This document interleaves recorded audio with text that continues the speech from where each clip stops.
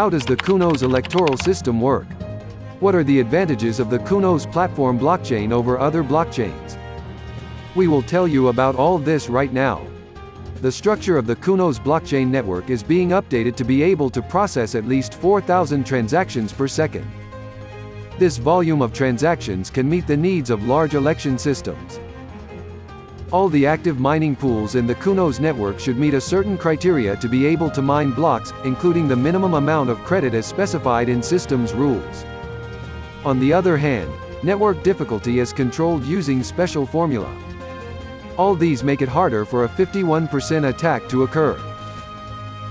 In any voting center, a new and exclusive address is given to any voter in addition to the right to vote, a certain balance of CCXX coins. The totality of these balances come from a certain source which are provided to be constant for all the election transactions, known as the Merkle root. This balance is constantly sent to an exclusive address to each voting center. In any election system, there is an ID for any voter, this ID can come from the national ID number or any other criterion such as a biological criterion. This ID is registered as a separate transaction in the blockchain in the form of a message when the voting right is transacted. This is so it becomes fully transparent who has used their voting right already. The registration validity of this ID should be authenticated by the organizers of the election outside the blockchain network. Based on the number of the registered IDs in certain time periods, the balance of the voting center's wallet will be recharged. Transferring votes, special balance in the exclusive address, can be done via special voting wallets. Transaction ID and raw transaction are shown in the form of a QR code which can be recorded.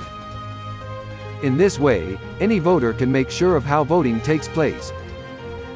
Mining pools in the CCXX network are adjusted in a way that they cannot play a role in registering transactions in blocks. Thus, all the receiving transactions, that are valid, will be recorded in the first block available. As the voting process ends, the balance of voting centers and the main center will become non-transferable.